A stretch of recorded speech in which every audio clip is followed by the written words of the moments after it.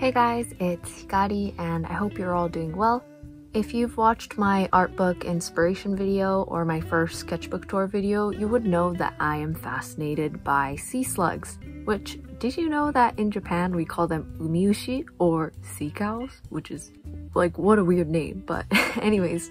They are absolutely fascinating, the detail and the creativity of their design. It's just very amazing, and I think it's just crazy to think that these little guys exist in real life on the same earth that we do.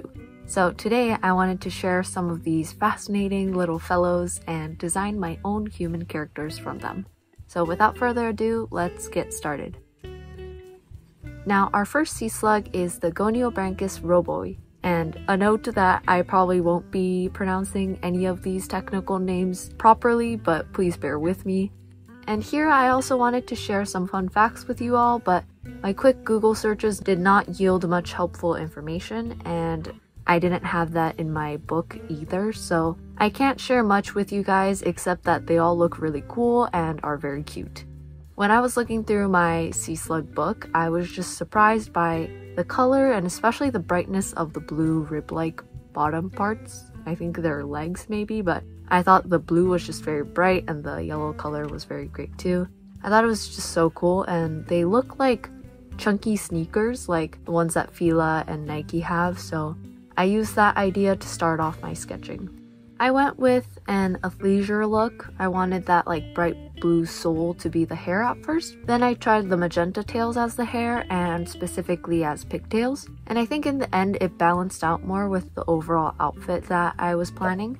And that was really something for all the characters, like balance was something I had to keep in mind since I wanted all the eye-catching parts of the sea slugs to make it into the final design which made colors and patterns of the clothes really important.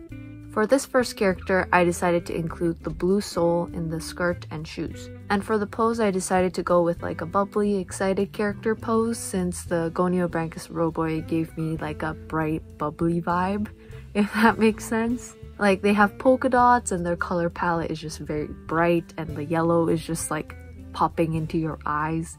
So it was kind of like a no-brainer that this character would be a happy one. I tried to incorporate that personality and finalize the design when I went into Procreate and did the final sketch digitally. I decided to also draw the actual sea slug next to them because it's good for comparison, but also it's just helpful for me when checking my design and the color palette and stuff like that. So for all three of these characters, I decided to draw the actual sea slug as well. And final design wise, the hair came from the Goniobranchus Roboi's tails, and the long sleeve shirt has like the yellow and blue polka dots. The skirt has the blue soles, and the shoes are just, you know, the sea slug itself as the shoes. I also had the idea early on for the eyebrows to be like the circles because of the polka dots in the sea slug, but also because it reminded me of like the old Japanese standard of beauty for their eyebrows and I think this character like pulls off the circle eyebrows really well, so I just went with it. The coloring was a pain because instead of color picking, I kind of eyeballed everything, which in the end I don't regret because I was able to adjust the color to go better together. But it was just a very mindless, time consuming and annoying process to get done. There were also a lot of adjustments I had to make, like I blurred the line art of the ribs to make them less intense and to make them blend in more. Or like I also made the polka dots on the long sleeve shirt just on her shoulders instead of like all over the shirt to, you know, again, make them less intense. And I also had to keep adjusting her skin color because at first it looked too gray and then it looked too green and then it was just it was difficult to make all the colors, not just the skin, but like all the colors and patterns work together. But I think in the end it ended up working out and the Goniobranchus Roboi design is finished. I really like the final design and I'm glad that I was able to turn that little sea slug into this happy character. The second sea slug I chose had a more like scientist who is quiet but has gone mad vibes to them, which like just look at them. Like, at least that's what I got from this photo of the Phyllodesmium undulatum, undulatum. I think the orange swirly things in the outer translucent antenna thing made me think of like chemicals in a test tube. And a lot of mad scientist designs go with like the crazy all over the place hair. And that's like the idea I initially got from all the antennas everywhere. I got the hair design down pretty quickly, and as I drew, the character became less and less crazy and more mysterious and calm and like having a more quiet vibe to them and I think the color palette was maybe pulling me in this direction. But yeah, that was mostly what I did in the initial sketch. I didn't do much. And when I moved to the digital sketch, I took more time to add details. And this was when I started regretting drawing the actual sea slugs next to the character because this one was probably the hardest one. I think it's mainly because they're very translucent, so trying to get that effect digitally was a challenge. And also, you know, the many, many curly antenna things were just hard to draw and place down correctly, but because they're so unique, I decided that, you know, both the hair and lab coat could have that like curly antenna in their design. I also wanted to add like a bit more steampunk scientist element to them as more of an homage to the initial mad scientist idea.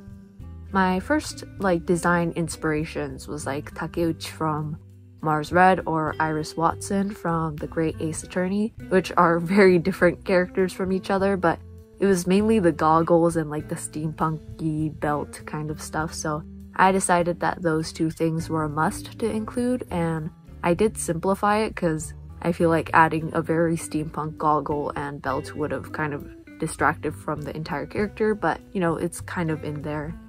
But overall, I think this character is the one I want to work on a bit longer and make their design a little bit more intricate in a later date because I really like this idea and their silhouette quite a lot. But yeah, for this video, I just went on with the line art and coloring. The colors were quite pastel and easy, but what really was difficult was again the translucency, especially in the hair. I tried a lot of different things with having a low opacity layer over a 100% opacity layer of the hair and then adding Gaussian blur, I think is how you pronounce it, Gaussian blur, to the orange swirlies in between the two layers. And then adding shading around the edges to make it look softer. And I think these things helped and I did enjoy trying different things, trying to get the look that I wanted. So that was a fun challenge. I think the color palette of the character isn't super accurate to the initial photo, but I had to remind myself that this is designing a character inspired by the Phyllodesmium undulatum and not me trying to replicate the image of the sea slug itself. So I might work on their design a bit more and post about it sometime because I really do like the idea of a quiet mad scientist who looks very translucent and pink. But yeah, that's the final design for the second character. The third and final character might have been the one that surprised me the most. I chose the Elysia crispata as the inspiration behind this third character. I did go into this third design wanting to draw a pretty boy, so that's what I started with with the sketch.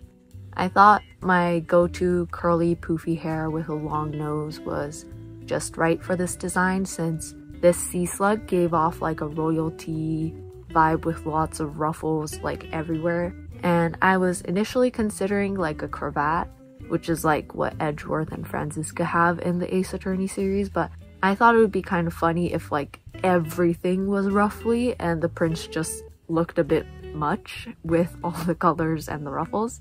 And I tried other things like I tried vests under the ruffly shirt and pirate corsets over it, but I tried to finalize everything in the digital sketch, and I also finalized his hair in the final sketch. I actually asked my family which hair options they liked because I just really couldn't choose. I personally really liked the longer mullet or the long ponytail, but I think it distracts from the ruffles around the neck, which is kind of the key design for this character. So I went with the shorter curly hair and the ruffles being everywhere on the shirt. His pose and expression gave me a lot of trouble as well. As inspiration, I did look at some ballet dancers who played princes, and I kind of took inspiration from their pose and expressions. I think if I was trying to design a more like quote unquote realistic person, I would have went with like a more stiff pose because I wanted him to have like a stiff personality with lots of colors and ruffles on his outfit that kind of like contrasted that personality. But I wanted to make the silhouette a little bit more interesting, and after designing character number two, it seemed kind of weird to go for realism. I also changed his expression a little bit to a more like cold and aloof one instead of smirking at the camera because the photo I saw of the Elysia crispata did not give smirking at the camera vibes. It gave off like a I'm unbothered by your presence kind of vibe.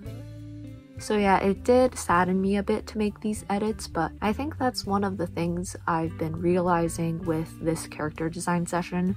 There's some choices I wouldn't make if I was just drawing for fun or like designing these characters. Again, like I would have kept the smirk, I would have went with the longer mullet hair or the ponytail. But I feel like that's kind of the point of these character design challenges. It's like to get out of your comfort zone and to try new things that you wouldn't do if you were just drawing for fun, like normal. So, you know, I tried to make those choices and it, it was fun because of that.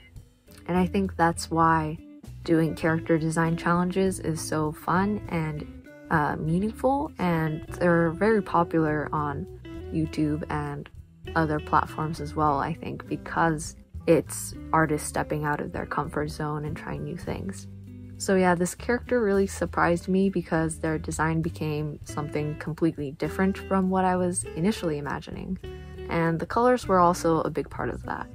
I tried different combinations of colors on like different layers and kept flipping through them. And I was trying to go for like a more princely look, right? So I was going for like a more like fluffy white pastel look, but then I realized that that was kind of not accurate with like how blue this sea slug is. And I also wanted to add like a greenish color because you can't see it in the photo I showed in the beginning, but a lot of other photos of the Elysia crispata show that this sea slug has like a grayish green belly. So I wanted that to be part of the color palette, along with the yellow ridges and many, many kinds of blue.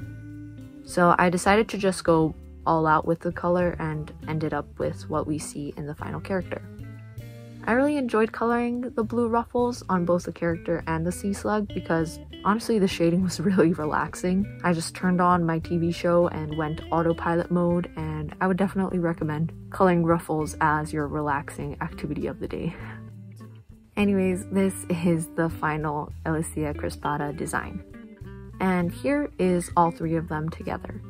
My last character design session with you all was the receipt character design, which if you haven't checked out, I'll leave it in the card above. But yeah, these three are just a lot more much than the previous three. But I think that just goes to show how unique and extravagant a lot of these sea slugs are.